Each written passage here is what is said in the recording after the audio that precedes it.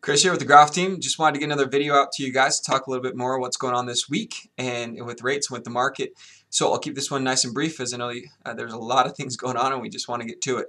So uh, first of all, uh, we have a positive uh, market today. Uh, we're starting to see a little bit of a uh, trend reversal in what we've been experiencing over the last two weeks. We've had a lot of negative market movement which has pushed rates up another eighth to a quarter or so, um, really putting conventional rates anywhere from 4.2, 4.5, um, and uh, and so what we are seeing now is a slow reversal on that. This week will be key as we hear the Fed come out, and if they can come out with some uh, very firm language on what their policy is going to be, whether that is going to be raising rates or whether that is going to be pushing that out and they don't want to hear any more talk about it or speculation, uh, that will really help our market. If we continue to have a guessing game with the Fed, and if their verbiage isn't very strong either way, uh, we could continue to see market, uh, market loss, which leads to increasing rates.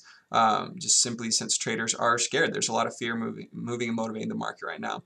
And uh, just a last quick tip of the day as we uh, start looking at scraping the bottom of the barrel for inventory here, we're hearing more and more of uh, repair concerns.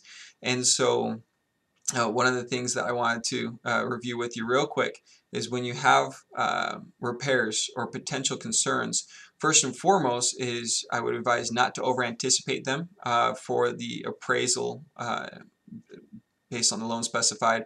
Um, you know, FHA uh, inspectors aren't the same that they used to be in the sense that everything's really in a health and safety category. So if it's if there is a cracked window or um, some paint missing, so on and so forth. It's not necessarily an immediate repair unless it can be deemed a health or safety hazard.